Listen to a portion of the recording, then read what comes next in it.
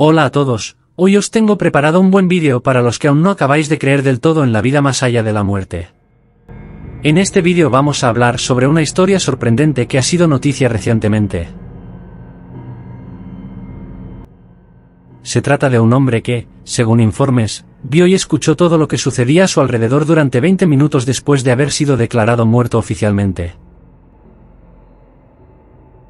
La historia fue publicada por primera vez en el Confidencial el 6 de septiembre de 2022. Al parecer, el hombre había sido llevado al hospital después de sufrir un ataque al corazón, pero a pesar de los esfuerzos de los médicos por revivirlo, finalmente fue declarado muerto.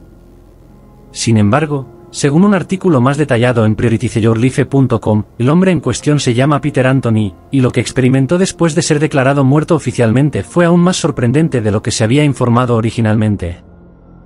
Durante los 20 minutos en los que fue considerado muerto, Anthony afirma haber visto una luz brillante y haber hablado con su difunto padre. También dijo haber visto un túnel y a su esposa esperándolo al final. Aunque esto puede sonar como una experiencia cercana a la muerte, lo que hace que la historia de Anthony sea aún más sorprendente es que, según los informes, su cerebro estuvo completamente inactivo durante todo el tiempo que fue declarado muerto oficialmente. Esto sugiere que la conciencia y la experiencia de Anthony de lo que sucedió después de su muerte no se pueden explicar fácilmente con la ciencia convencional. La historia de Anthony ha dejado a muchos desconcertados y ha llevado a preguntas sobre cuánto sabemos realmente sobre la muerte y qué sucede después de que morimos. Aunque la historia es ciertamente impactante, es importante tener en cuenta que es extremadamente rara y que la mayoría de las personas no experimentan nada parecido después de morir.